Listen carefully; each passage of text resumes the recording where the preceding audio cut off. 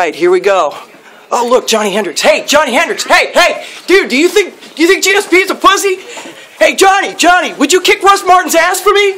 Johnny, We gotta go. do you, do you go. think Dennis Rodman is going to get us nuked? Johnny, do you, did you ever fart in your opponent's face? We gotta go. Come on, gotta go. come on. Johnny, just one question. Would you swap wives with Tom Brady? Johnny, dude, did, did, you ever, did you ever get too chubby to fit in your leotard, man? Hey, that's the last question. Hey, come on, just one. Oh!